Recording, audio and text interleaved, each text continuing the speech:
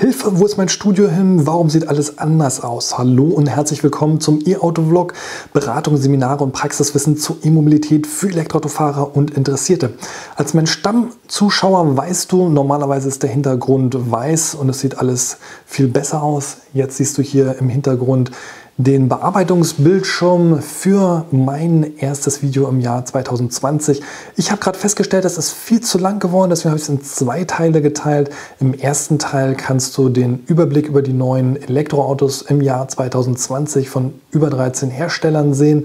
Im zweiten Teil, bei dem du jetzt bist, kriegst du den Nachrichtenüberblick unter anderem zum Beispiel darüber, dass man mit dem Tesla Model 3 400 Euro pro Monat sparen kann, wenn man zum Beispiel vor einem BMW 3er gefahren ist. Die Renault Zoe ist auf Platz 1 gelandet bei den Verkaufscharts in Deutschland und dann haben wir natürlich noch jede Menge andere interessante Nachrichten. Also schau sie dir jetzt in Ruhe an. Ich freue mich, dass du da bist. Überrascht hatte auch äh, Ego ringt um die Finanzierung. Also das heißt, hier gab es äh, im letzten Jahr, im Oktober, das äh, Problem, dass äh, Ego ja, kurz vor der Insolvenz stand und im Prinzip nur durch eine 100 Millionen Euro Finanzierung äh, seiner Aktionäre gerettet werden konnte. Hintergrund ist, ich habe es schon fast befürchtet, dass es Ego natürlich in Schwierigkeiten bringt, aber wie groß sie sind, war mir nicht bewusst. Die Verzögerung beim Produktionsstart. Es gab Probleme mit den Zulieferern, es gab äh, Probleme mit der Zulassung, also Homologation des Fahrzeugs und dadurch wurden ja zum Beispiel letztes Jahr nur 500 Igo verkauft. Und wenn man so ein Unternehmen startet, rechnet man natürlich mit entsprechenden Verkäufen, den Umsatz, den Einnahmen daraus in Verhältnis äh, zu den Kosten. Und äh, wenn sich das verzögert, das ist richtig äh, tückisch, denn die Kosten bleiben, eventuell steigen sie sogar, weil man sich wieder neue Zulieferer besorgen muss, suchen muss äh, oder bei der Homologation zusätzliche Kosten entstehen. Und die Einnahmen kommen nicht. Und daher ist dann der Finanzierungsbedarf äh, sehr hoch. Also ihr kennt es äh, von Sono Motors, da kommen wir auch gleich zu. Das sind 100 Millionen wirklich keine große Summe. Diese sind, wie gesagt, von den Aktionären jetzt übernommen worden.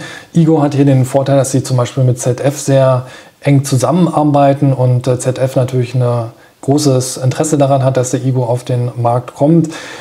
Ich bin gespannt, wie er sich verkaufen wird, denn er ist noch teurer geworden. Die Preise sind um 2000 Euro angehoben worden, unter anderem auch aufgrund des Umweltbonus, den jetzt E-Auto-Startups natürlich ähm, ja, mit einkalkulieren müssen und nicht querfinanzieren können durch irgendwelche schon gut laufenden Autos mit Verbrennungsmotoren und somit natürlich dann das Problem besteht, dass jetzt ab äh, diesem Jahr 3000 Euro netto hier als Umweltbonusanteil vom Hersteller übernommen werden müssen.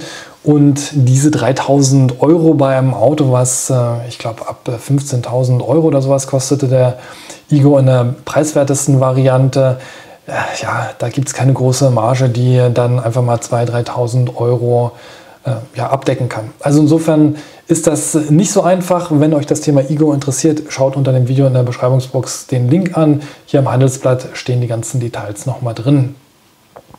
Auch beim Handelsblatt Edison habe ich die Informationen für euch mal rausgesucht äh, zum Thema Sono Motors. Und zwar ist es ja so, dass Sono Motors gesagt hat, wir brauchen 50 Millionen in 30 Tagen, also bis zum 31.12.2019. Das Ziel haben sie verpasst, denn am 30.12.2019 24 oder 23.59 Uhr waren das äh, gute 30 Millionen. Sie haben sich auf der einen Seite darüber gefreut, dass es so viel geworden ist, auf der anderen Seite natürlich bedauert, dass es nicht gereicht hat. Dann wurde eine Umfrage gestartet. Wir können hier einfach mal auf die Seite von Sono Motors gehen. Und in dieser Umfrage, die jetzt über den Jahreswechsel stattgefunden hat, wurde von den Reservierern, von den Vorbestellern vom äh, Sion beschlossen, dass die Kampagne bis zum 20.01. verlängert wird. Ich muss ganz ehrlich sagen, ich finde das ein bisschen bedenklich, ne, denn wenn man sagt, wir brauchen 50 Millionen innerhalb von 30 Tagen, wenn es nicht klappt, ist Schluss, dann muss auch Schluss sein.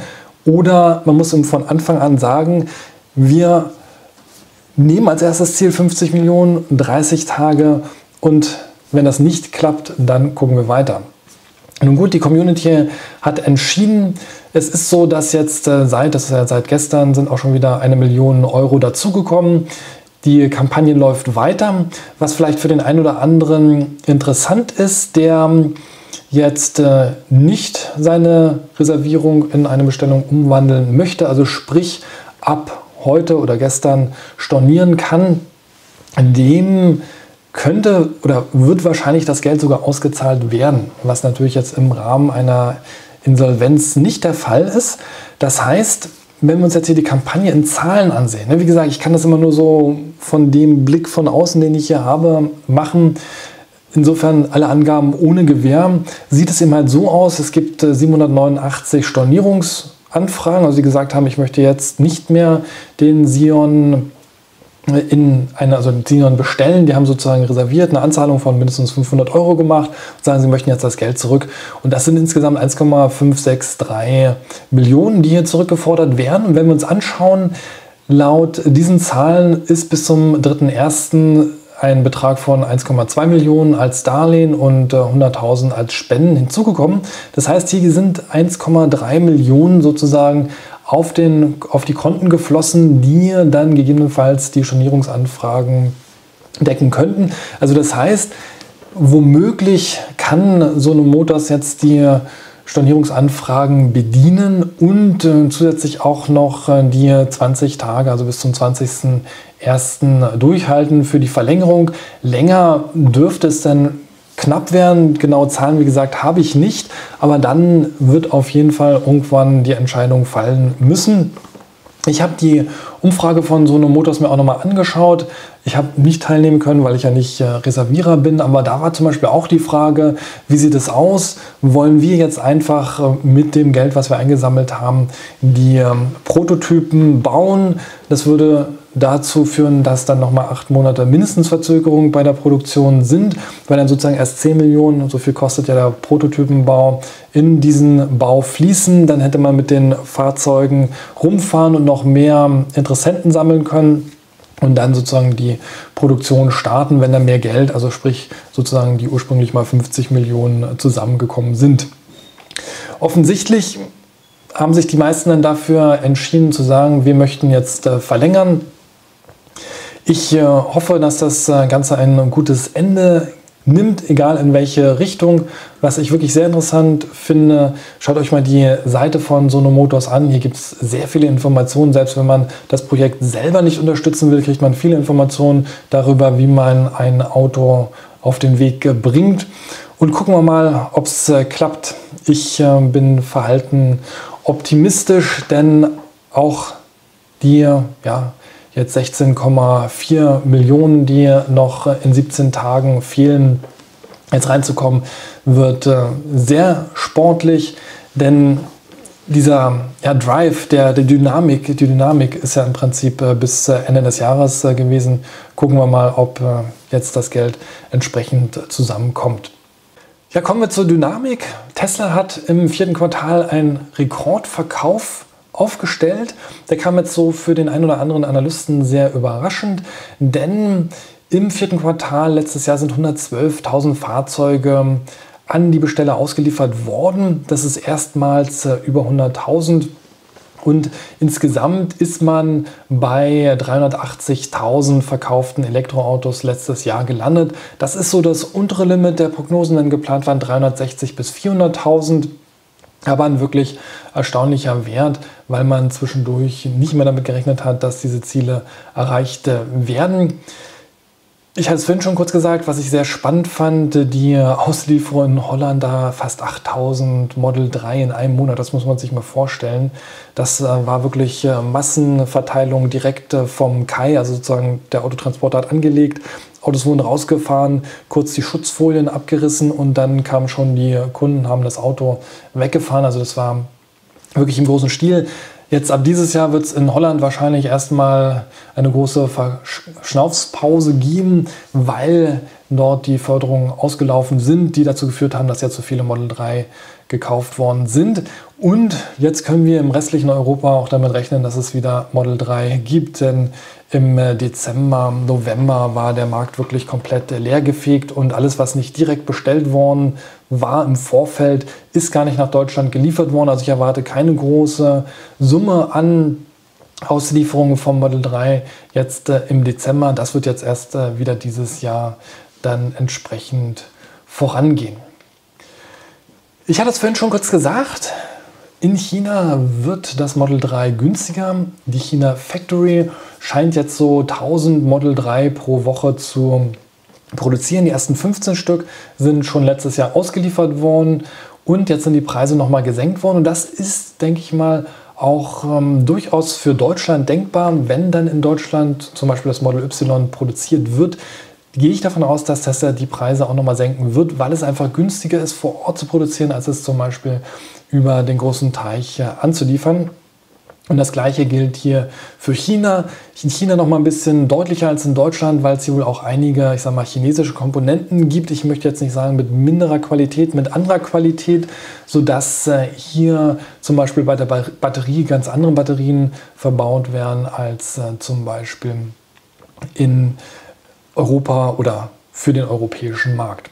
Also es ist wirklich erstaunlich, was äh, Tesla hier geschafft hat, innerhalb von einem Jahr die Produktion aufzubauen und mit der Auslieferung zu starten von ja, im Prinzip einer leeren Wiese. Sehr interessant fand ich auch die Karte von den Superchargern. Und zwar ist die jetzt über den Jahreswechsel aktualisiert worden. Also für alle, die noch ein bisschen Abenteuer in Europa haben wollen, entweder nicht mit dem Tesla fahren oder noch ganz schnell ans Nordkap. Ihr seht, die grauen, das sind die Stationen, die dieses Jahr gebaut werden sollen. Tesla prognostiziert das immer sehr optimistisch. Also es gibt auch einige Stationen, die hier schon seit Jahren angekündigt werden, immer zum Ende des jeweiligen Jahres. Man ist sich also nicht sicher, ob sie wirklich kommen. Aber man sieht hier ganz deutlich, dass der Ausbau nicht nur natürlich hier oben äh, am Nordkap, dem Wallfahrtsort sozusagen der Tesla-Fahrer, sondern auch insgesamt ausgebaut wird. In Deutschland, gerade so im Norden, ist äh, der Ausbau eher überschaubar. Aber insbesondere, wenn man jetzt, jetzt sich zum Beispiel England anschaut äh, oder auch in den Osten geht, dort kommen viele neue, hier bis in die Türkei kommen äh, neue Ladestationen, sodass die Fahrt äh, ja, in die Türkei relativ entspannt mit dem Tesla wird. Denn bisher hat man hier auf dem Balkan doch schon so einige Probleme zu laden. Und äh, auch im Mittelmeerraum werden neue Supercharger gebaut, hier auf den Inseln, sogar auf Mallorca oder auch äh, Spanien bekommt äh, richtig viel neue Supercharger. Und äh, dadurch wird, auch wenn jetzt zum Beispiel das Supercharger-Netz in Deutschland, ich habe ja immer wieder darauf hingewiesen, anzahlmäßig jetzt mittlerweile von den Ultraschnellladern überholt worden ist, das bequeme Reisen mit dem Elektroauto in ganz Europa mit Tesla noch deutlich bequemer. Und das ist wirklich der große Vorteil, den nach wie vor Tesla hat, dass hier dieses äh, Supercharger-Netzwerk dann ausgebaut ist. Es zeigt sich aber auch gerade, dass in Spitzenzeiten auch in Europa mittlerweile jetzt die ähm, Supercharger an ihre Grenzen kommen.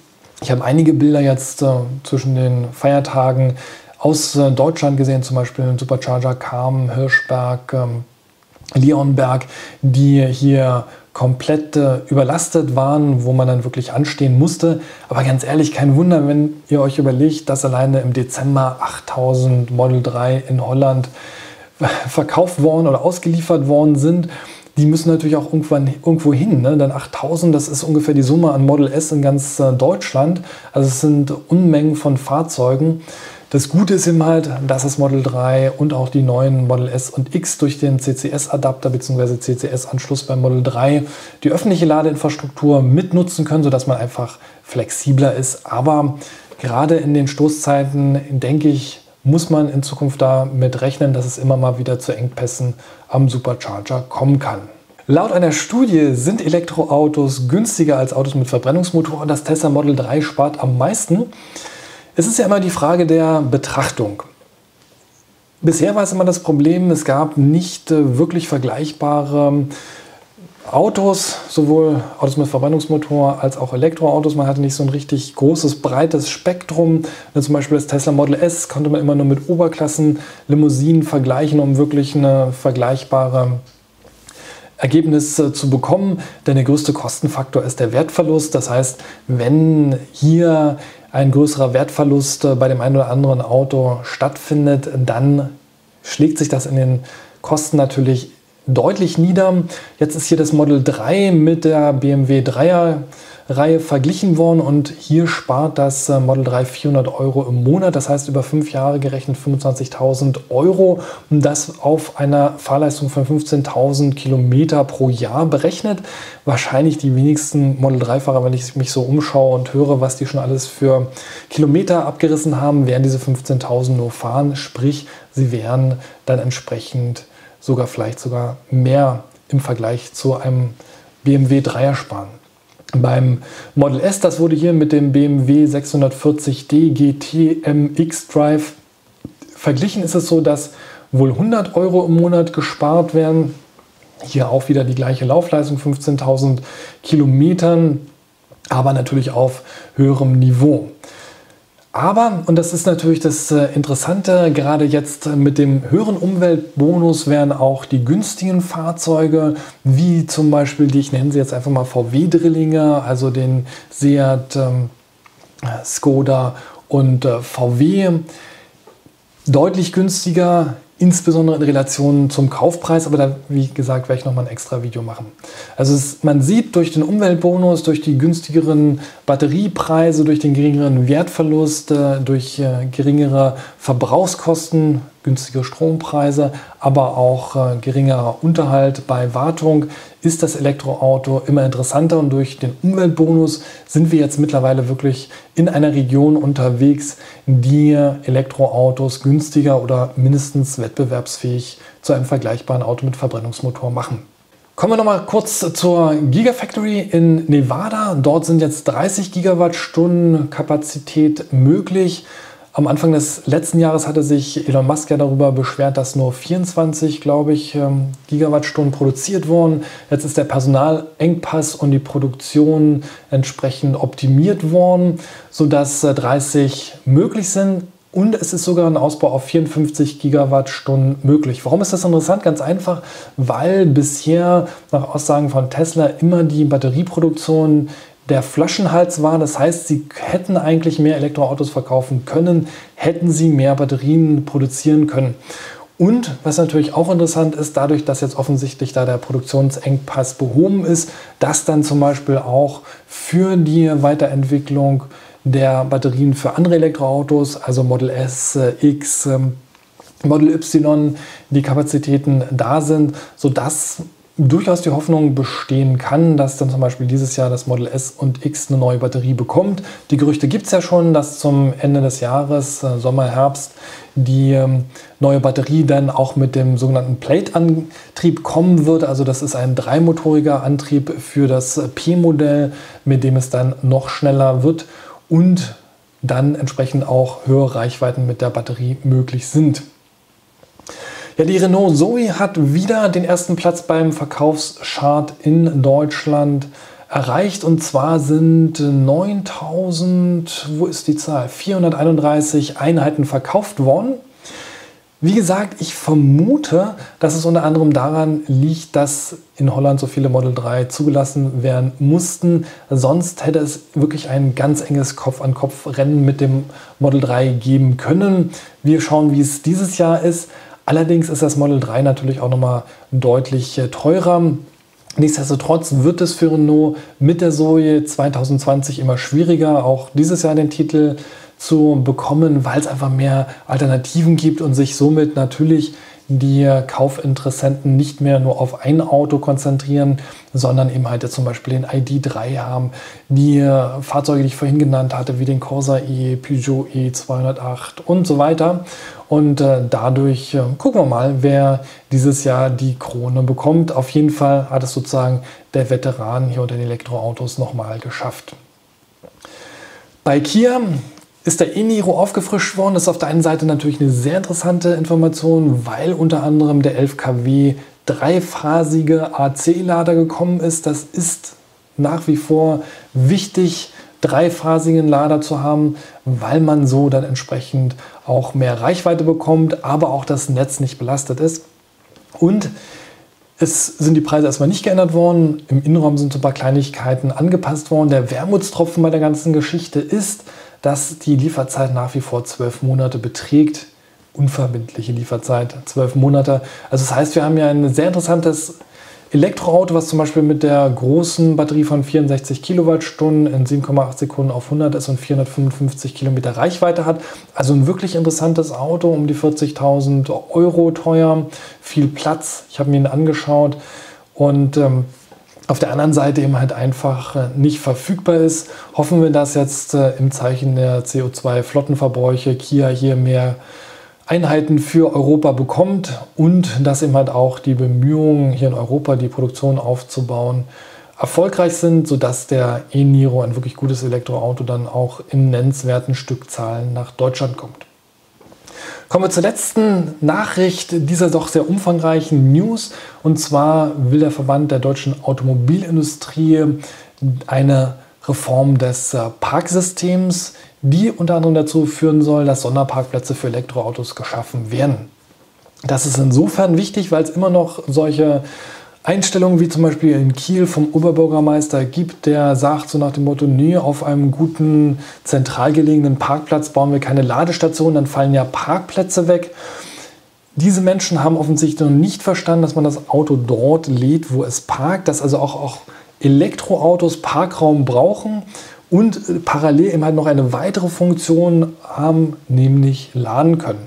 Das heißt, man muss nicht mehr die Tankstellen befahren und äh, dort das Auto beladen oder betanken, sondern man kann es während das Auto parkt. Schafft man keine Ladestation auf diesen Parkplätzen für die Elektroautos, stehen sie trotzdem da und der Parkraum wird nicht äh, größer.